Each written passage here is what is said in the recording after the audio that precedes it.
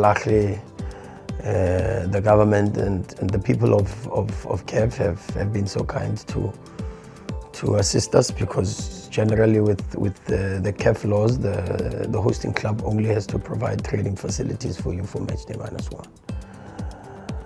Uh, unless it's an artificial field and then they've got the obligation to provide for match minus two and minus one.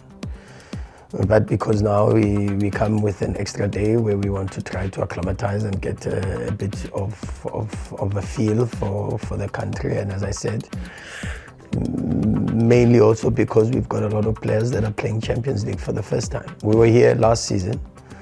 Uh, we managed to get a very, very good result against a very, very good side. But, but a lot of the team that was on the pitch will not be on the pitch to, tomorrow on Saturday because uh, our team has undergone some form of transition. Uh, it's not as aggressive as, as uh, we would uh, think.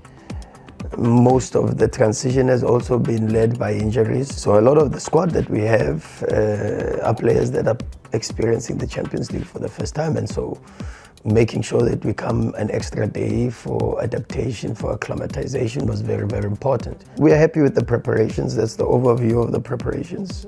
We are happy with uh, and very satisfied with the facilities and, and the amount of hospitality and, and warmth we have received from this country.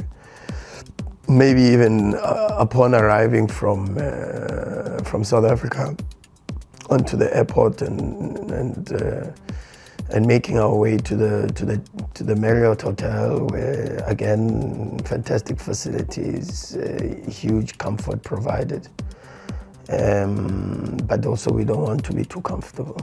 We are not here to to to improve our level of uh, luxury or, or, enjoy ourselves. The focus, uh, the attention to detail, and the preparation that we can give.